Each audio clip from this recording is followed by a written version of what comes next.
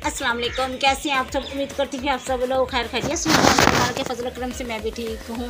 तो प्यारे व्यूवर्स आज हम आप लोगों के साथ दाल के पराठे की रेसिपी शेयर करेंगे, जो कि बहुत ही आसान रेसिपी है। तो प्यारे व्यूवर्स मौसम तब्दील होता जा रहा है, क्योंकि गर्मी गर्मी दोपहर को तो गर्मी में बैठा नहीं जाता, लेकिन रात को थोड़ी बहुत सर्दी होती है। तो माशाल्लाह से दिन भी बहुत अच्छा निकलता है। तो आसमान बिल्कुल साफ़ है। तो प्यारे व्यूवर्स, आप लोगों से जो रेसिपी शेयर करूँगी, वो दाल के पराठे की है। तो आप ये पराठा बच्चे को बना के दें, बच्चे बहुत खुश होकर खा खाएँ।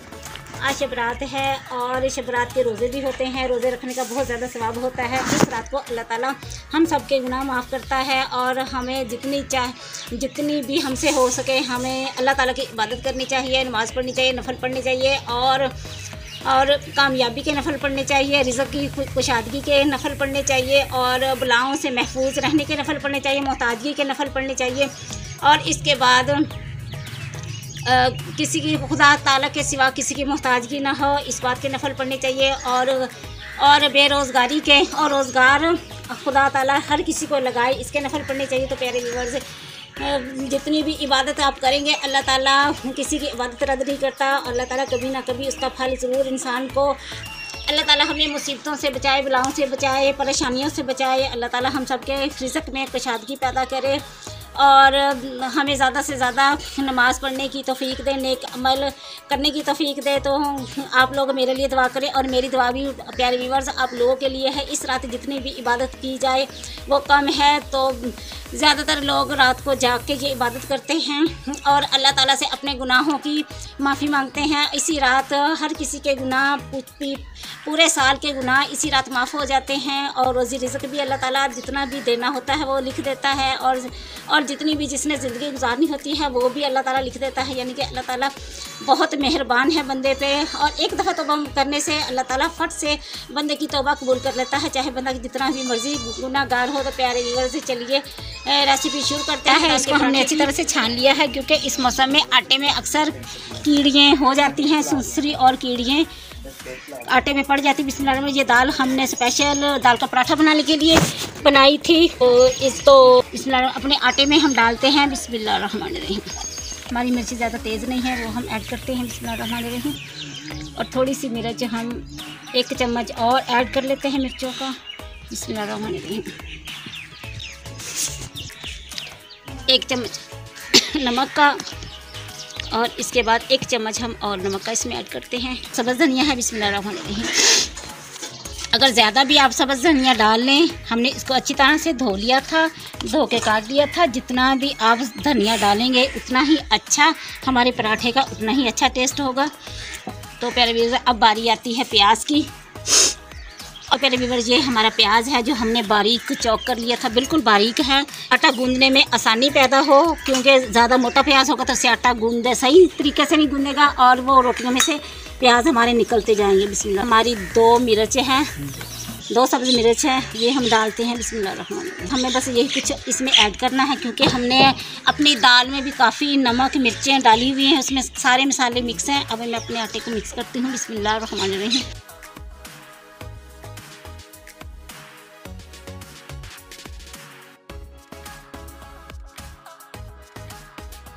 हम अपने ये दाल और आटा इसमें अच्छी तरह से मिक्स कर लेंगे। और सारा ये हमारा आटा बिल्कुल, आटा तो गाइस आपने आटा पतला नहीं रखना सख्त सख्त रखना है, क्योंकि सख्त आटे की रोटी, ये बिसी रोटी जो होती है वो अच्छी और मज़ेदार और क्रिस्पी क्रिस्पी होती है। पतले आटे की रोटी ना बनती है और ना ही क्रिस्पी होती है और तवे पे भी नहीं, वो तवे पे भी अच्छी तरह से नहीं डाली जाती।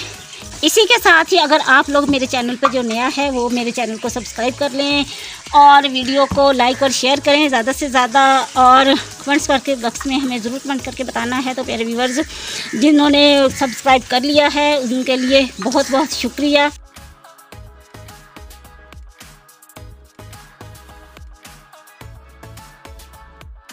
अपनी प्रांत से आटा उतार लेंगे।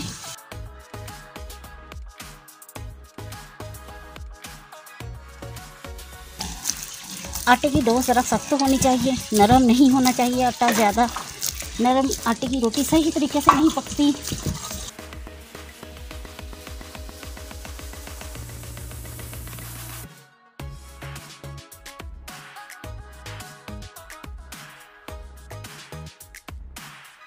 नमक डालेंगे हम, क्योंकि मैंने नमक चेक किया है, नमक बहुत हल्का है, इसलिए हम ज़रा ज़्यादा नमक डालेंगे, क्योंकि मिस्सियों रोटियों में ज़्यादा नमक अच्छा लगता है।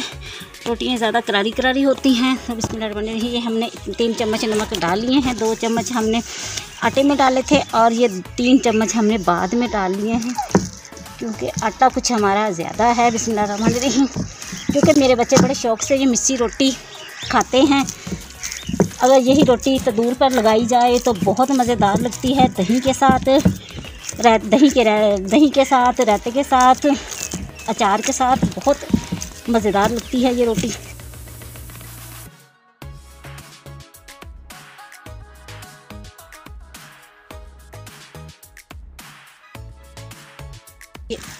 प्रांत को हम साफ़ कर लेते हैं क्योंकि आटा ज़रा भी प्रांत के इर्द गिर्द नहीं लगा हुआ आटा अच्छा नहीं लगता बुरा लगता है। अच्छी तरह से साथ के साथ प्रांत की सफ़ाई भी करते जाना है। इस आटा गूंदने का पता आ, इसी इस तरह से लग जाता है क्योंकि आटा बिल्कुल भी प्रांत के साथ ना लगा हो।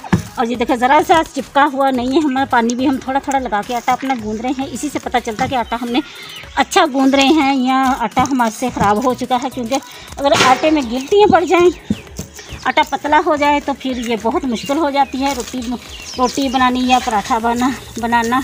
तो इसलिए देखें हमारा ये आटा माशाल्लाह से परफेक्ट हो चुका है। अब मैं इसकी, इसको अपने आटे को एक दो अच्छी तरह से नमक मिक्स हो जाए। दो तीन और इसको मुखियाँ लगाती हूँ।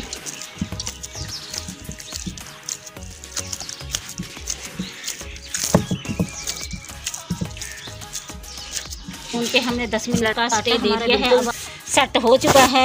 अब हम रोटी बनाते हैं। बिस्मिल्लाह नहीं अपने प्यारे से तवे के नीचे आग जलाते हैं। बिस्मिल्लाह नहीं आग हमारी जल चुकी है। और अब हम अपना लिए पेड़ा लेते हैं। जिस हिसाब से हमने पेड़ा लेना है।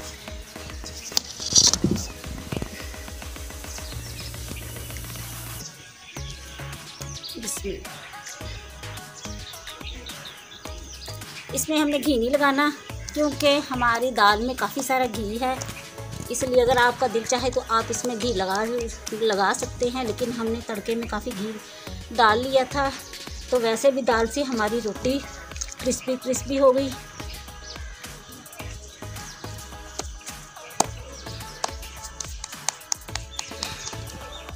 दो पेड़े हमने बना लिए हैं। थोड़ी सी हम रोटी अपनी बढ़ा लेंगे। ताकि एक जैसी हमारी रोटी हो से, एक जैसा हमारा परोठा बन सके। तवा हमारा गर्म हो चुका है। हल्का सा हम अपने तवे पे घी लगाते हैं।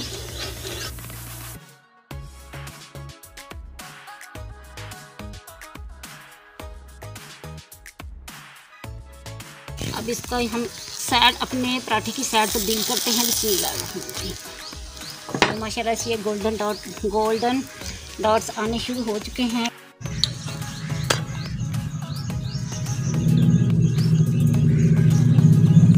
तो अब हम अपना घी लगाते हैं अपनी रोटी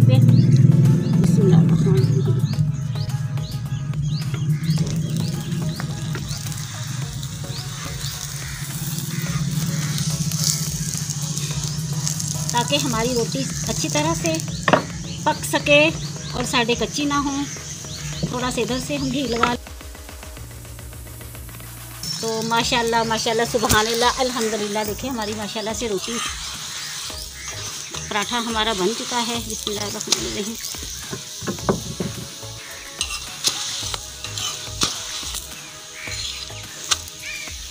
देखिए माशाल्लाह से दोनों साइडों पे हमारा पराठा तैयार हो चुका है। बिस्मिल्लाहिर्रहमानिर्रहीम। और इसी तरह ही हम ये दूसरा पराठा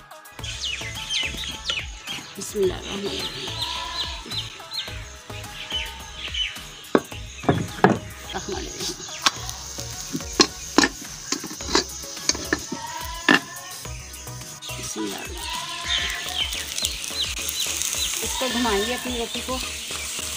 चारों तरफ़ से घुमाएँगे ताकि ये अच्छी तरह से इसके कोने वगैरह सारे अच्छी तरह से पक जाए।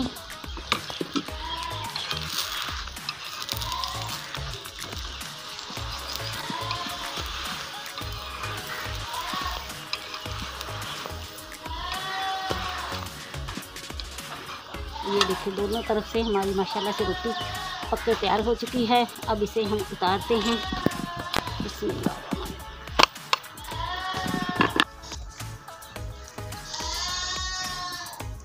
तो ये थी हमारी आज के पराठे की दाल के पराठे की फाइनल लुक उम्मीद करती हूँ कि आपको पसंद आए, पसंद आएगी। पसंद आए तो कमेंट्स बॉक्स में हमें कमेंट करके ज़रूर बताना है। और दाल का पराठा आपने अचार के साथ।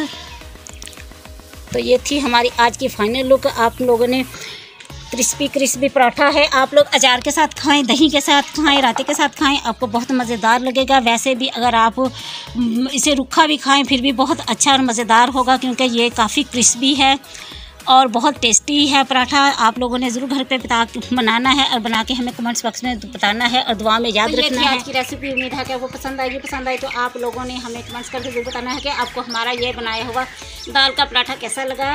तो प्यारे व्यूवर्स आप आप लोगों ने ज़रूर इबादत करनी है और इबादत करके कमेंट्स करके मुझे बताना है कि आप लोग कौन कौन रात को रात सारी रात जागता रहा है अल्लाह ताला की इबादत करता रहा है। तो प्यारे व्यूवर्स दुआओं में याद रखिएगा। अल्लाह ताला आप लोग को खुश रखे, आबाद रखे बस्ता रखे। आप लोग मेरे लिए दुआ करें और मेरी दुआ आप लोगों के लिए है। तो मिलते हैं किसी नेक्स्ट वीडियो में। तब तक के लिए अल्लाह हाफिज़।